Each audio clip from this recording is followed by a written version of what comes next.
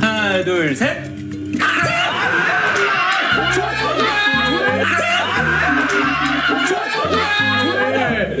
조현석 씨왜 기생충? 아 미치겠다 진짜. 이거 고기 빼야 된다 고기 이거 어떡하냐고. 그래 고기를 빼야지 뭐. 이 진짜. 야, 나이스야. 아. 야 버섯처럼 국물. 지민아 나 너무 자랑스럽다 야. 아. 감사합니다. 예 맛있게 드세요 아.